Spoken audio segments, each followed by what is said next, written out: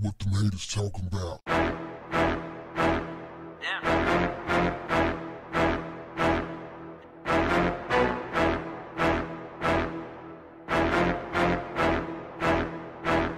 What's up, family? You're gonna love this one, I promise you. A hitman hired a hitman, who hired a hitman, who hired a hitman, who hired a hitman. this happened in Beijing. This dude, who is a businessman in China by the name of Tan Youhui, he had a problem with his business partner.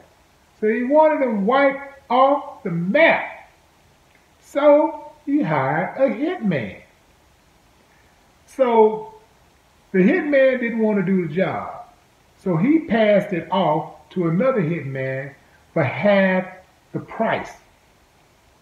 What was the price? What's the going rate for a murder? What's the going rate for a murder, a business partner murder in Beijing? 218,000 pounds, which is about 280,000 US dollars. So it starts off at, let's say, 280,000 US dollars. And the first hitman chops the value down to the hitman he subcontracted the hit to.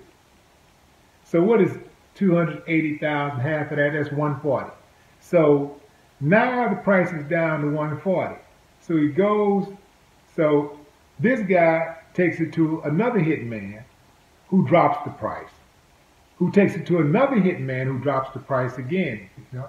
And then finally, the last hitman decides that he's so incensed that the price has, the original price has dropped so far that he goes to the guy that's supposed to be killed and tells him about the plot and tells him to fake his death.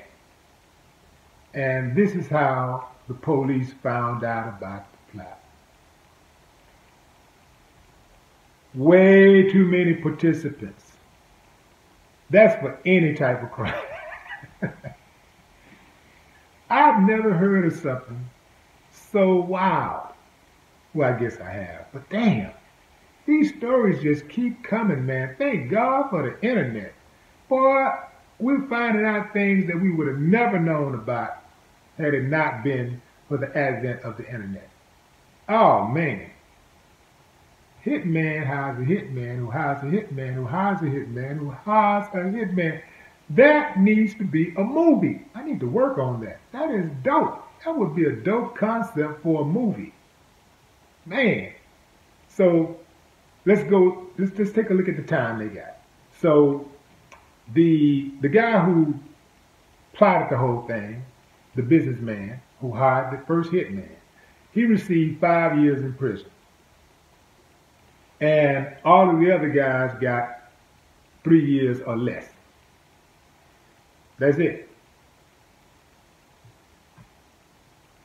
Boy, that money's something else, man. That money is something else.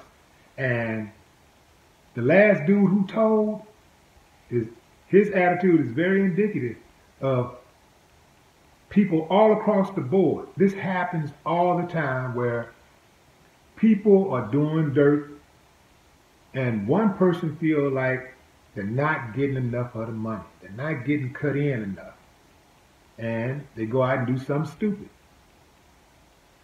Or they just straight up go tail. And the whole plot falls apart. Dude didn't like that. That happened in, to a number of people I know, like in the real estate game. They was knocking down people, what was that, about 10, 15 years ago when they started taking people down? when the real estate market crashed, they went in and started arresting all of those mortgage people and uh, realtors and all of that. They was knocking them down left and right. But a lot of it started with somebody feeling like they're not getting their fair share. So even if you are getting your fair share and you're doing something dirty, chances are somebody's going to slip up eventually. Remember, uh, was that Goodfellas? Was that Goodfellas? Yeah, that was Goodfellas. When they robbed this, uh, I believe it was a, uh, an armored truck. Was it an armored truck? They robbed, I can't remember exactly what, what they robbed. They robbed an armored truck, uh, a an armored truck company, the whole company. Big heist. I think the heist was like $10 million or something. And they told everybody, lay low, don't spend no money, don't buy nothing, lay low.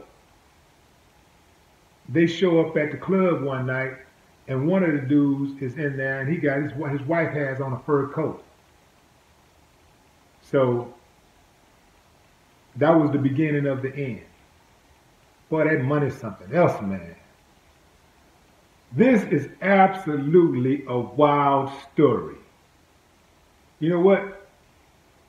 I'm done with this. I'm about to start writing the script right now. A hitman hires a hitman who hires a hitman who hires a hitman who hires a hitman. Just know, I told you here first. No more talk. What, the haters talking about?